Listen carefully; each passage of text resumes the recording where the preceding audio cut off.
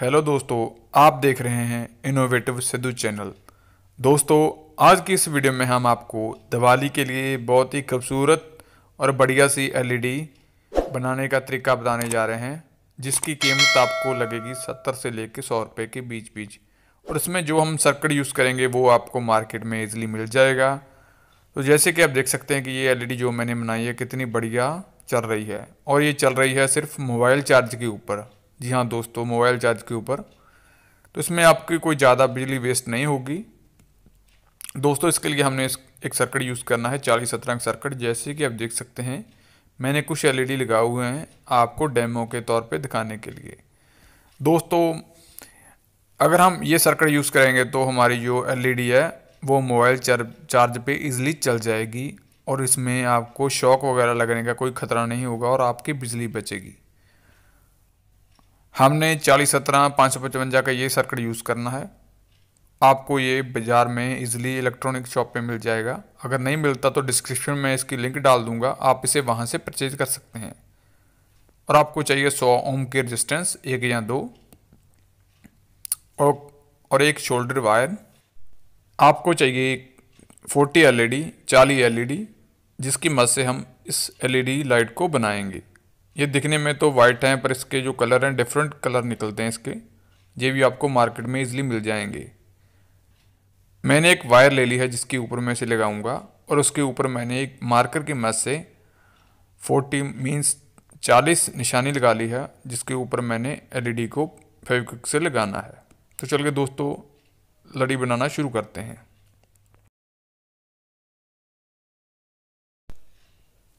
अभी मैं फेविक्विक की मदद से जो मेरा पहला बल्ब है रेड कलर का, उसको एक लोकेशन पे लगा दूँगा, जहाँ पर मैंने मार्क किया हुआ है। उसके बाद मैं एक, दो, तीन लोकेशन छोड़ के चौथे नंबर पर फिर से रेड बल्ब लगाऊँगा। इसी प्रकार से मैंने तीन लोकेशन छोड़ने के बाद रेड बल्ब लगाने जाना है। और कुल मैंने दस बल्ब लगाने हैं। हर एक जो हमारा रेड बल्ब है, उसके बीच तीन स्टेप का अंतराल होना चाहिए। जाने की तीन एलईडी लोकेशन का। जो, जब आपने एलईडी लगाना है तो आपने इस बात का ध्यान रखना है कि उसकी जो पॉजिटिव वायर है पॉजिटिव लेग बड़ी वाली लेग वो एक साइड हो और नेगेटिव छोटे वाली लेग एक साइड हो। आपने तीन तीन स्टेप छोड़ के, तीन तीन लोकेशन छोड़ के एलईडी को लगाते जाना है। मैं भी इसमें फेविक्विक को यूज़ कर रहा हूँ। आप कोई और मटेरियल भी यूज़ कर सकते हैं इसको लगाने के लिए। जहाँ आप किसी कपबोर्ड में जैसे गत्ते में भी इसे लगा सकते हैं।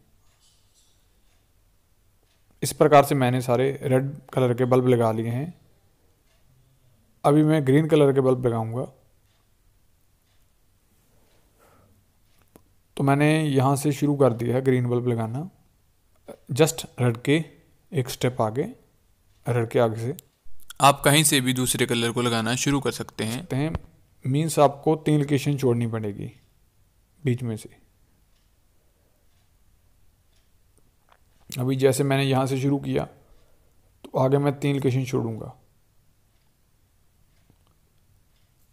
एक, दो, तीन। एक, दो, तीन, ठीक है? अभी बल्ब बीच है तो हम उसे भी काउंट करेंगे। अभी फिर से रेड बल्ब के आगे ग्रीन कलर का बल्ब लगा देंगे। इस प्रकार से मैंने सभी दस के दस ग्रीन कलर के बल्ब भी लगा दिए हैं।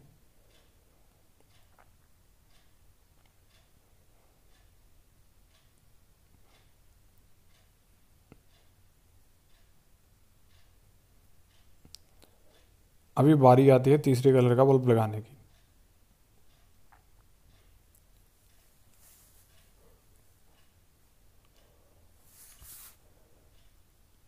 जब आप पूरे दो कलर के बल्ब लगा दे तो आपने तीसरे कलर का बल्ब लगाना शुरू कर देना है। कुछ इस तरह से मैंने तीसरे कलर का बल्ब लगाना शुरू कर दिया। अभी मैं फिर वहीं से तीन लोकेशन छोड़ूँगा और चौथे लोकेशन पे ये यहाँ पर फिर से तीसरे कलर का बल्ब लगा दूँगा।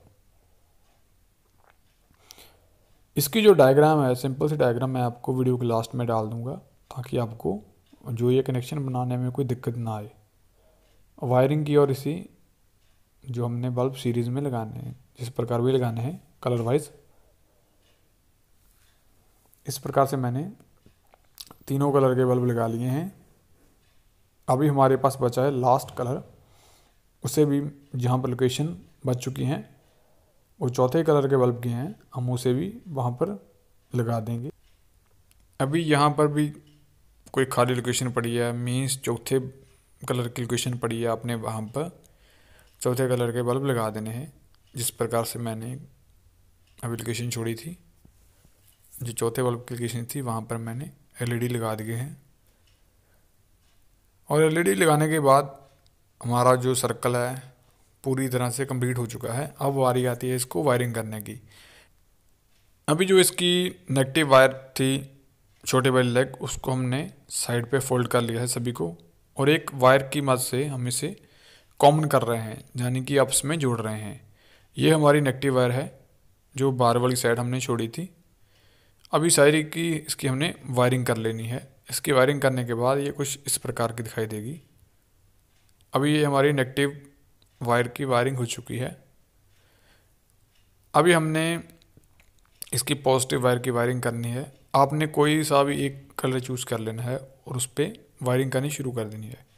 अभी आपने तीन लोकेशन छोड़ के चौथी लोकेशन पे फिर वही सेम वायर को लगा देना है जो आपने पहले शुरू की है। इस प्रकार से आपने तीन तीन लोकेशन छोड़ देनी है। मींस आपने पहले एक कलर की वायर कर लेनी है, जैसे रेड की, और फिर दूसरे कलर की वायरिंग करनी है। चल गया, मैं सबसे पहले एक कलर की वायरिंग कर लेता हूँ। अभी एक कलर की वायरिंग करने के बाद मैं उसकी एक वायर साइड पर निकाल दूँगा। सर्किट में लगाने के लिए। इसी प्रकार से हमने सारी की सारी एलईडी की वायरिंग कर ली है। मींस रेड वाली को एक वायर पे कर दिया है ब्लू वाली को एक पे ग्रीन वाली को एक पे और येलो वाली को एक पे। आपने जो वायरिंग करनी है, जो मैं लास्ट में डायग्राम बताऊँगा, उसी हिसाब से वायरिंग इसकी करनी है। तो इस वीडियो को पूरा देखें ताकि आपसे कोई भी स्टेप मिस ना हो जाए। तो भी इसकी मैंने एक ग्राउंड वायर निकाल ली है नेगेटिव वाली, और चार वायर जो हमारे डिफरेंट कलर के एलईडी की हैं, वो निकाल ली है। जिस तरह से हमने नेगेटिव वाली को कॉमन किया था, उसी तरह से हमने रेड को कॉमन कर लेना है, और उसके बाद ब्लू कलर को, और उसके बाद ग्रीन को, और फिर जो हमारा कलर बचा है येलो उसको भी। अभी हम आपको बताएँगे कि सर्किट पे आपने वायरिंग शोल्डर कैसे करनी है। यहाँ पर पॉजिटिव नेगेटिव और यहाँ पर हमारी एलईडी फोर एलईडी फोर और एलईडी थ्री एलईडी टू और एलईडी वन इस प्रकार से आपने एलईडी की जो वायर चार निकाली, वो लगानी है। तो अभी जो आपने पॉजिटिव वायर लगानी है, इस सर्किट के नीचे आपको ब्लैक कलर का डॉइड दिखाई देगा। उसके पॉजिटिव एंड पे आपने पॉजिटिव वायर लगा देनी है। और यहाँ पर जो नेगेटिव वायर है कैपेसिटर के नेगेटिव पॉइंट पे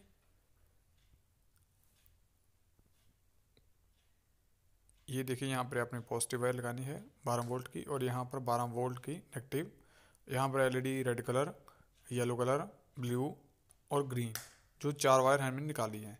और यहाँ पर जो हमारी कॉमन वायर आएगी नेगेटिव वाले एलईडी की रजिस्टेंस लग के यहाँ लगेगी। तो चल के अभी हमने इसकी जो कॉमन वायर निकाली थी नेगेटिव पॉइंट की एलईडी की, सभी की, उस पर एक रजिस्टेंस लगा दिया सौ ओम का। अभी हम इसे सोल्डर कर लेते हैं सोल्डर की मदद से।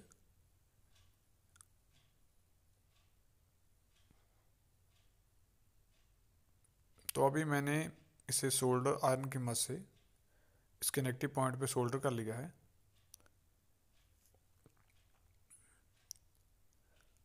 अभी उसके बाद हम एलईडी के वायर को सोल्डर कर लेंगे कलर वाइज जो हमने निकाली थी रेड ब्लू येलो ग्रीन की चार वायर निकाली थी, उसको हम सोल्डर कर लेंगे। दोस्तों, ये वीडियो थोड़ा सा लंबा हो सकता है, इसलिए इसको लास्ट तक देखें। क्योंकि इसमें मैंने हर एक चीज़ आपको पूरी डिटेल में बताई है। यहाँ पर तीसरी पिन पे हमने इसका पहला कलर लगा देना है, जो भी आपका पहला कलर है। और यहाँ से फिर तीसरी पिन पे दूसरा कलर। इस सर्किट की डायग्राम की जो मैंने कॉन्फ़िगरेशन है, वायरिंग की, वो लास्ट में इसमें, पिक्चर में बताई हुई है। आप उसे वहाँ से देख के इसे सोल्डर कर सकते हैं। यहाँ पर थर्ड और यहाँ सबसे लास्ट में है हमारा फोर्थ कलर अभी जो हमारी एक पिन बच चुकी है, वहाँ पर हम अपना फोर कलर लगा देंगे।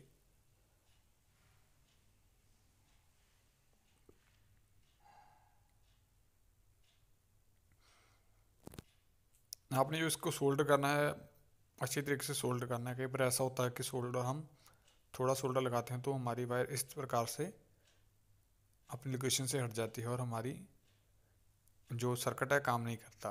अभी मेरा एक वायर लगी नहीं है, अभी उसको दोबारा से फिर मैं सोल्डर करूँगा। तो अभी इसे हमने सोल्डर कर दिया। अभी मैं नोकिया का मोबाइल चार्ज यूज़ करूँगा। आप किसी और कंपनी का भी चार्ज यूज़ कर सकते हैं, जहाँ आपके घर में डी का अडाप्टर होगा 12 वोल्ट का, वो भी यूज़ कर सकते हैं। तो अभी मैं इस एक चार्जर पे 40 एलईडी चलाऊँगा इस सर्किट की मदद से। अभी यहाँ पर मैं इसकी पॉजिटिव एंड की वायर शोल्डर कर दूँगा चार्जर की। और यह दूसरा सिरा है नेगेटिव वाला, उसको मैं रजिस्टेंस के साथ ज्वाइंट कर दूँगा। अपने नेगेटिव वायर को रजिस्टर के साथ कुछ इस प्रकार से ज्वाइंट कर देना है। अगर आप चाहें तो इसको सोल्डर भी कर सकते हैं। मैंने जस्ट आपको दिखाने के लिए इसे इस प्रकार से इस पर फिक्स कर दिया है।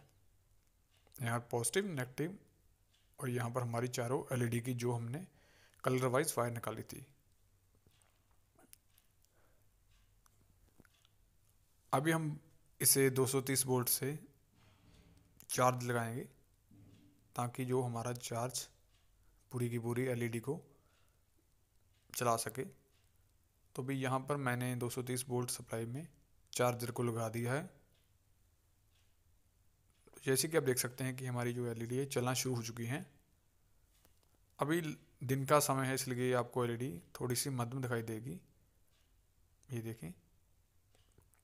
अभी इसका हर एक बल्ब जो चलना शुरू हो चुका है, इस प्रकार से मैंने इसकी वायरिंग की है।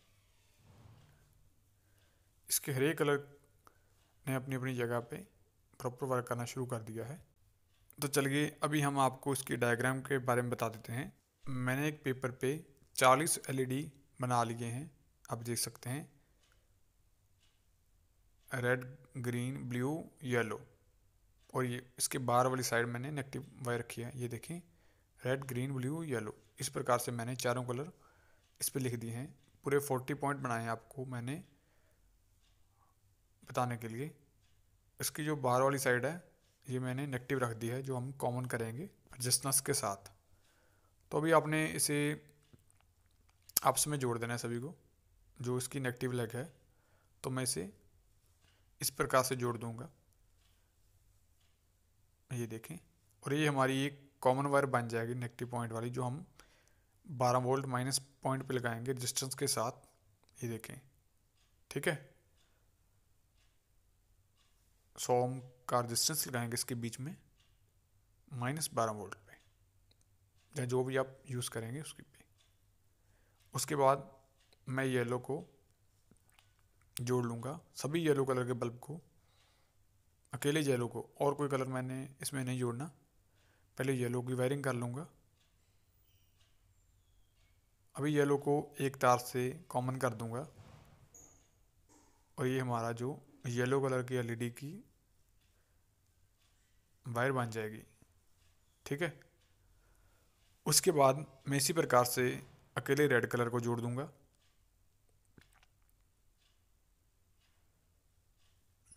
इस प्रकार से मैं रेड को जोड़ने के बाद फिर ग्रीन को जोड़ूँगा और फिर ब्लू को। इस प्रकार से हमारी रेड की भी एक कॉमन वायर हो जाएगी, ब्लू की भी कॉमन वायर हो जाएगी और येलो को भी और ग्रीन की भी। हमारी चार कॉमन वायर हो जाएँगी। इस प्रकार से आप इसे जोड़ सकते हैं। ब्लू को ब्लू के साथ जोड़ देना सभी ब्लू के साथ और ग्रीन को ग्रीन के साथ। इस प्रकार से आपकी जो चारें वायर कॉमन हो जाएगी। ठीक है? उसके बाद आपने इसे सर्किट में चार वायर जो मैंने आपको सर्किट में बताई हैं, उस पर आपने जोड़ देना है और ये आपकी जो नेगेटिव वायर है कॉमन वायर है, उसको आपने नेगेटिव पॉइंट पर जोड़ दोस्तों, अगर आपको हमारी ये वीडियो अच्छी लगी तो वीडियो को लाइक करें, चैनल को सब्सक्राइब करें और वीडियो को दोस्तों के साथ शेयर करें। आज की इस वीडियो में बस इतना ही। फिर मिलेंगे किसी नई इन्फॉर्मेशन के साथ। थैंक यू दोस्तों।